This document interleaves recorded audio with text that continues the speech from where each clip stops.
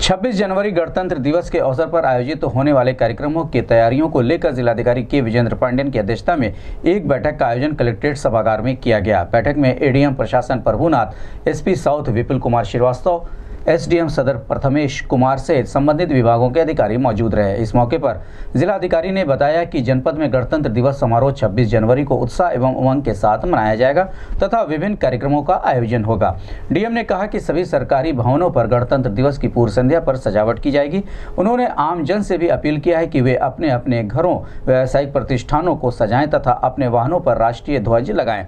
DM ने बताया कि 26 जनवरी को प्रातः साढ़े आठ बजे सभी सरकारी भवनों पर ध्वजारोहण होगा।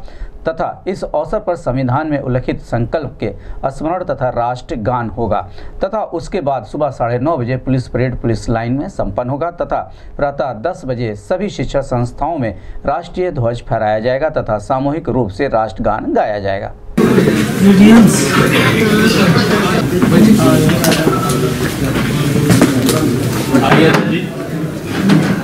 सभी सरकारी भवनों और इस अवसर पर संविधान में उल्लिखित संकल्प के स्मरण तथा राष्ट्रगान के गायन की व्यवस्था। पहले रात को सजावट होगी? सजावट होगी सर। यानी छब्बीस पच्चीस तक। पच्चीस पच्चीस की सर जो है पच्चीस छब्बीस की रात में पूरा सजावट तथा होमगार्ड जवानों को भी शामिल करके परेड कार्यक्रम आयोजित किए जाए। और झांकियाँ थी सर उसके पीछे कुछ सर ये कब से कब तक चलेगा? वहाँ पुलिस लाइन में आप दो घंटे चले तो साढ़े ग्यारह तक चलेगा। संस्थाओं में राष्ट्रीय ध्वज फहराया जाएगा तथा राष्ट्रगान सामूहन का इतिहास बताया जाए और सशक्त सैन्य बलों के बलिदान का नमन करते हुए देशभक्तों के जीवन के प्रेरक प्रसंग दोहराए जाए, जिससे राष्ट्रीय चेतना विकसित हो, नाटक, विचार गोष्ठी तथा निबंध लेखन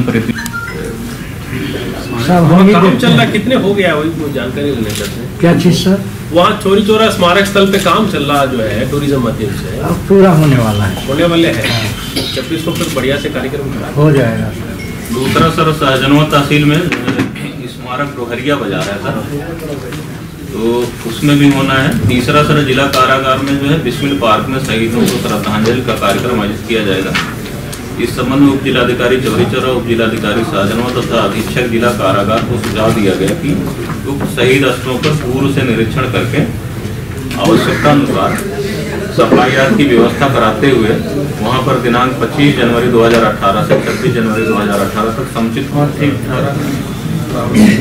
सामने वाले टॉयलेट भी प्रारंभ कर दो यार कहीं के लिए रखे बैठे नगर निगम का एक टॉयलेट था ना बन था पिछले बार बताया। बन गया ना पूरा? बन गया। चालू कर दो पब्लिक यूज़ में आएगा जो कितने मुलाकाती आते हैं उन लोग को वहाँ कोई सुविधा है नहीं। शुरू हो गया बढ़िया। इसके अतिरिक्त सर नगर निगम में जितने महापुरुषों की मूर्ति जहाँ हो सकता थी वहाँ रंगरोगन भी करा दिया गया था। विशेष सफ़ाई सफ़ाई अभियान चलाया गया। का सबसे टीम रहेगा। करेंगे संबंधित ग्रामीण क्षेत्रों में डीपीआरओ के माध्यम से स्वच्छता व्यवस्था अभियान